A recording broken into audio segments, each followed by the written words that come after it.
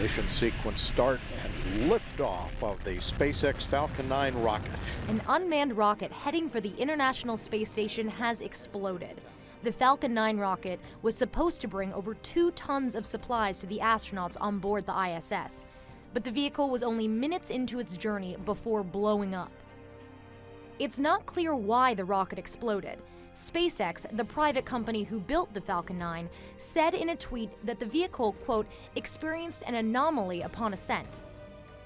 It's a disappointing birthday present for SpaceX founder Elon Musk, who turned 44 on Sunday. In January, after a successful launch, his company tried to land the first stage of the rocket on a ship in the middle of the Atlantic. The landing failed. A second attempt in April also failed. Musk's company has been attempting to create viable reusable rockets because they can make space travel much less expensive.